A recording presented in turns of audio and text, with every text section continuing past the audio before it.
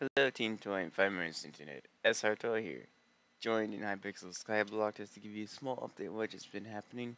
Um, lately, I've been doing Enderman Slayers, and, well, that's basically it. I can't really even kill a simple tier 3 by myself because, fun fact, my, um, what do you call it, plasma that used to be in my lovely 8th slot here went poof I don't know why.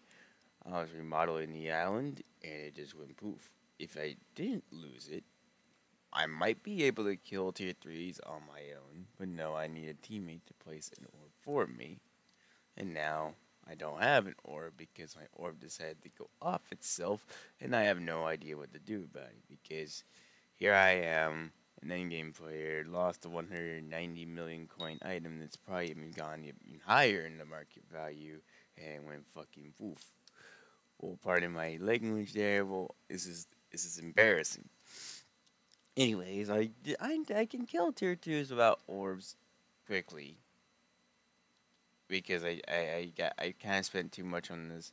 I'm already under Slayer six, just from well killing tier twos basically. Uh, how how many tier threes have I killed? Mainly of my co-op partners. Um, that's basically it. Well, yeah, you may also notice I don't have my name tag over my head, and um, you also may notice there's a different GUI, or there's, there's not stuff top left. I can't actually turn and look separate directions without looking manually forced at the crosshair. Yeah, because I'm not in 1.12 anymore. I'm actually in 1.8. Well, I can do that somewhat. There you go.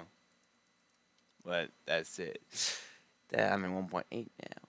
I hope you enjoy Team Toy. Stay safe and have a lovely day.